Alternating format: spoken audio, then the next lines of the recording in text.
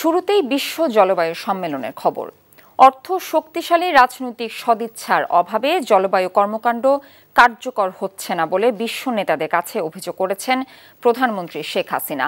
জলবায়ু শীর্ষ সম্মেলন কপ টোয়েন্টি সিক্সে নেওয়া ভাষণে শেখ হাসিনা উন্নত দেশগুলোর কার্বন নিঃসরণ কমাতে পরিকল্পনা পেশের ওপরও গুরুত্ব দেন।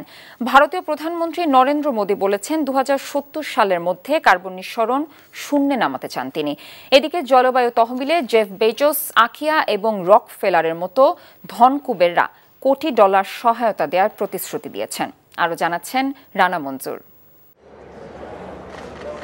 সোমবার গ্লাসগোতে বিশ্ব জলবায়ু সম্মেলন কপ ছাব্বিশের শীর্ষ অধিবেশনে প্রধানমন্ত্রী শেখ হাসিনা তার দেয়া ভাষণে জলবায়ু পরিবর্তনের কারণে বাংলাদেশ কতটা ঝুঁকিতে পড়েছে তা তুলে ধরেছেন, বলেছেন, জলবায়ু পরিবর্তনের কারণে অভিবাসীর সংখ্যা বাড়ছে।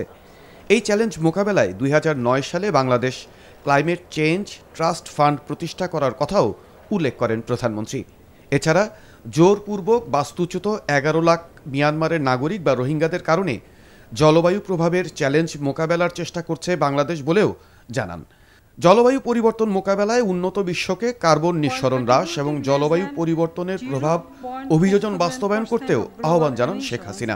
Bangladesh is one of the most climate vulnerable countries to address this challenge we established the Bangladesh Climate Change Trust Fund in 2009. We have doubled climate related expenses in the last seven years. Currently, we are preparing the National Adaptation Plan. বিশ্ব জলবায়ু সম্মেলনে ভারতীয় প্রধানমন্ত্রী নরেন্দ্র মোদীও তার বক্তব্যে বিস্ময় সৃষ্টি করেছেন দুই হাজার সত্তর সালের মধ্যে কার্বন নিঃসরণ শূন্যের কোঠায় নামিয়ে আনার মতো তাক লাগানো ঘোষণা দিয়েছেন। টোয়েন্টি সেভেন্টি তাক ভারত নেট জিরো কা লক্ষ্য হাসিল করেগা। নেপালি প্রধানমন্ত্রী শের বাহাদুর দেওবা বলেছেন পাহাড়ি অঞ্চলের জলবায়ু পরিবর্তনের সংকটকে বিশ্ব নেতারা আমলে নিচ্ছেন না। কিন্তু জলবায়ু পরিবর্তনের কারণে তাদের আশি ভাগ মানুষের জীবন জীবিকা ঝুঁকিতে পড়েছে। I therefore urge world leader to recognize specific climate vulnerability in high mountains.